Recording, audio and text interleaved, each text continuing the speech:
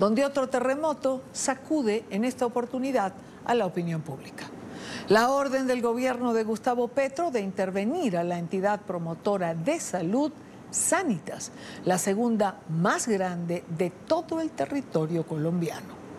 Según el gobierno, la medida se prolongará por un año y sería consecuencia del incumplimiento en requisitos financieros, pero aclaró que la empresa no será por ahora liquidada. Esta es la resolución de 26 páginas expedida por la Superintendencia de Salud, mediante la cual ordena la intervención de la EPS Sanitas, relevando al presidente de la EPS, al revisor fiscal y a la Junta Directiva, para que el Estado, mediante un interventor, asuma el funcionamiento de la EPS por presuntas fallas de tipo administrativo y de operación que estarían llegando a los usuarios. No vamos a intervenir de inmediato las EPS que ya están en circunstancias de intervención.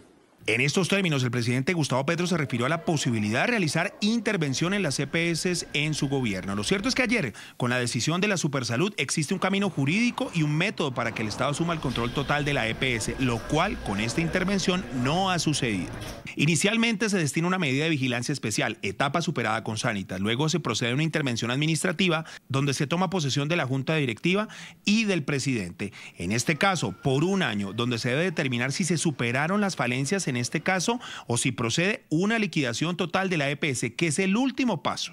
Igualmente existen vías de tipo administrativo y jurídico que se pueden iniciar para frenar la propia intervención. Acá consultamos expertos.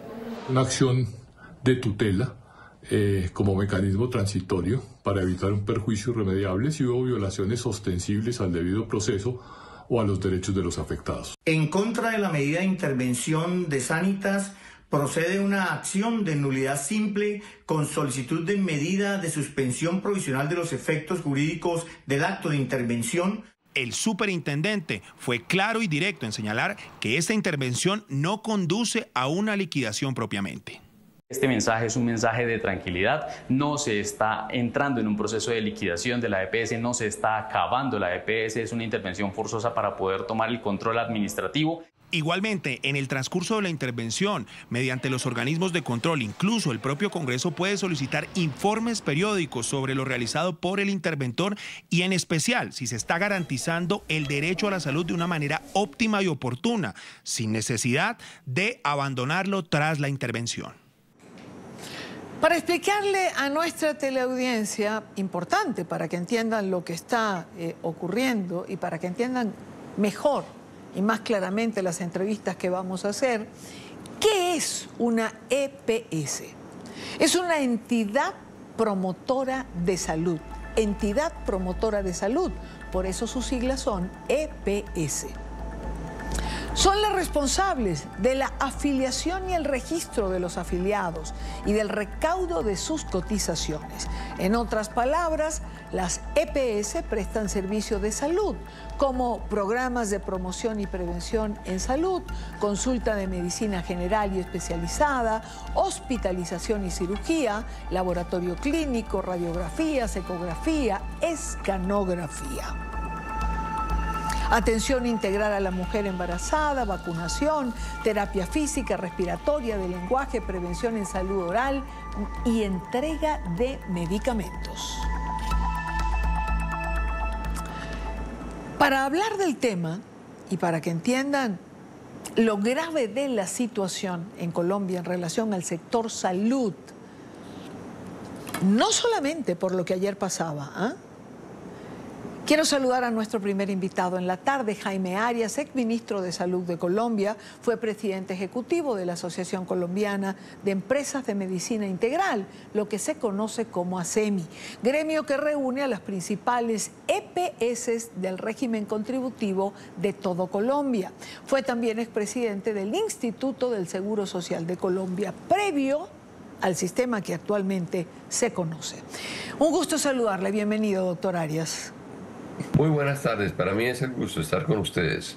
Mm. A ver, doctor, lo que está ocurriendo, pudiéramos decir que es parte de un libreto eh, que ya se conocía. Yo creo que lo que el gobierno está haciendo es parte de un libreto que lo tiene muy claro.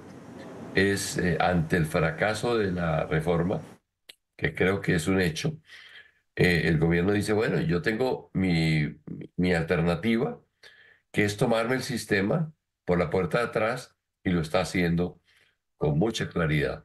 Porque este gobierno, debo decirlo, es muy bueno para destruir y muy malo para, para hacer cosas buenas, para construir. Eh, todo lo que ha pasado alrededor de la reforma a la salud es un proceso de destrucción. Y lo que está sucediendo con Sanitas es parte del mismo proceso.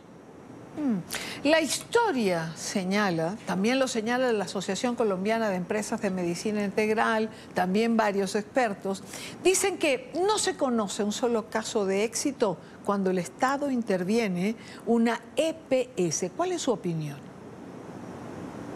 En los últimos, digamos, 25 años, que es cuando la Supersalud ha comenzado eh, a intervenir EPS, eh, nunca ha tenido éxito y ha intervenido muchísimas. Todas terminan liquidadas. Eh, ¿Por qué? Pues porque es que manejar una EPS es algo supremamente difícil. Eh, las EPS son tal vez las organizaciones eh, más complejas que hay en el país. buscar un presidente que tenga la capacidad de manejar una EPS y de mejorarla en las situaciones actuales es casi imposible. Así uno acuda a los headhunters y, y a cualquier otro mecanismo, encontrar esas figuras es muy difícil. Entonces el gobierno, pues eso no le importa. Ahora eh, ellos han encontrado una persona que creo que se llama Duber, Duber Dixon Vargas, que fue director de un hospital mediano eh, en eh, San Vicente del Caguán eh, y en Valledupar después, pero es una persona sin recorrido. Mm, yo, yo no quiero prejuzgar, pero estoy seguro que va a pasar lo mismo que ha pasado con las demás EPS. Han fracasado y esto las lleva a su liquidación.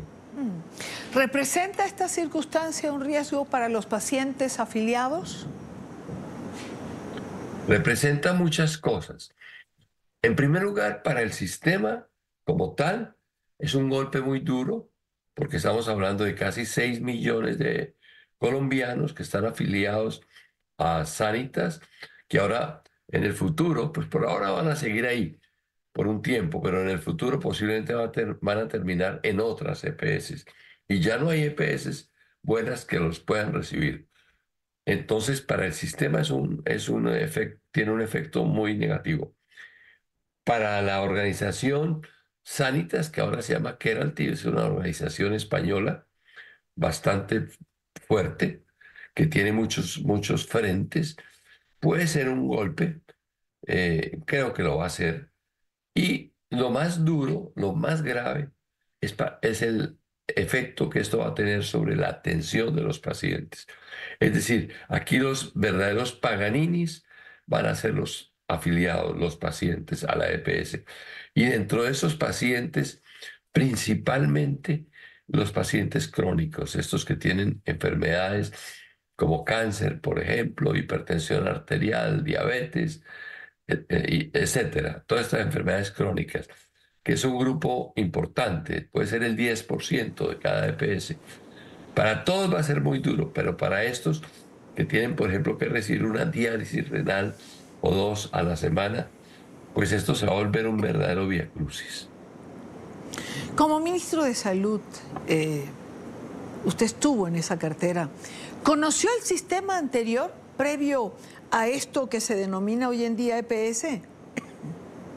Como ministro de Salud sí me tocó conocer el anterior sistema, que era un verdadero desastre. Apenas el 20% de los colombianos tenía un aseguramiento público y unos pocos con capacidad económica tenían seguros privados. El resto de la población estaba expuesta a su propia capacidad de pagar los servicios. Mm. Eh, a ver, retrocedemos eh, con un sistema es como el que la administración Petro eh, pretende aplicar un sistema quizás centralizado, un sistema estatal. Eh, ¿Nos quedamos atrás? No, un poco más. Eh, yo creo que unos 60 años. Petro está completamente desactualizado en muchas cosas. Petro se quedó con los modelos del Estado que hacía todo, del sector público que resolvía todos los problemas. Ese es un Estado de hace 60 años, el que tiene Cuba hoy día y Venezuela. Eh, Petro, cuando habla de la salud preventiva, está moviéndose hacia atrás 60 años al modelo de atención primaria que se estableció en los años 60, 70 del siglo anterior. Eh, él está totalmente desactualizado. Hoy las cosas han cambiado. Eh, la tecnología, la capacidad institucional. Colombia tiene la mitad de los primeros hospitales de América Latina como los mejores. Es decir, estamos en un, en un ambiente completamente distinto, pero el presidente se quedó atrás, eh, añorando el modelo de Fidel Castro y, de Chávez. Esos son modelos que han producido mucho dolor a, sus países. Eh, yo no quisiera que Colombia tuviera un modelo como el que tiene, por ejemplo, hoy Venezuela. Sería verdaderamente desastroso. La verdad que no sería nada deseable, doctor Arias, eh, que Colombia llegase a tener el sistema que hoy tiene Venezuela. Eh, si algún país ha sufrido el impacto de esa migración, de ese éxodo, ha sido Colombia. Y las zonas fronterizas, las ciudades fronterizas como Cúcuta, por ejemplo, saben ¿Cuántos venezolanos han atravesado la frontera solamente en busca de salud? ¿Cuántas mujeres parturientas, por ejemplo, eh, que vienen a atenderse en Colombia? ¿Cuánta gente que no tiene tratamiento en Venezuela lo ha buscado en Colombia? Uno no, no, no, no puede entender exactamente por qué eh, se están aplicando este tipo de medidas. Bueno, es que el gobierno no tiene practicidad, el gobierno, no, mejor dicho, el gobierno no sabe gobernar, pero el gobierno sí sabe echar discursos y tomar posiciones totalmente ideológicas. Eh, en este caso, de, salud, pero también en otros, contra el sector privado. Eso es regresar muchos años atrás, cuando el sector privado lo hacía todo. Hoy día lo que, lo que existen son alianzas público-privadas. En todos los países de Europa, por ejemplo, en materia de salud, eh, donde hay más fuerza del sector público, por supuesto. Pero esto, esto, esto no es bueno para, para Colombia. Y, y, es lo que sabe hacer el gobierno. El gobierno sabe hacer política. El, gobierno sabe pronunciar discursos incendiarios. El gobierno sabe destruir y puede